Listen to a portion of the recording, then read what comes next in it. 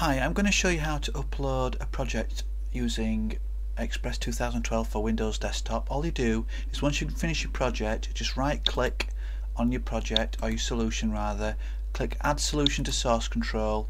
It may ask you for login and password. If so, get this from the Codeplex website, go to login as normal, go to the project group that you're interested in, go to source download and then once that's go to the connect that'll give you the URL username password that you need. Just the password that you normally log in with. Ignore the bottom bit about Tortoise SVN and then simply click OK. And then right click again. And then choose check in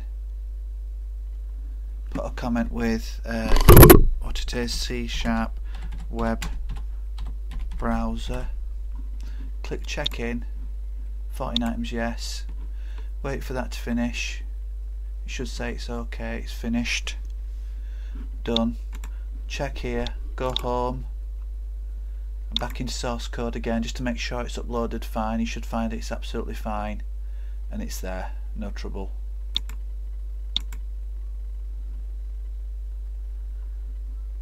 Bye for now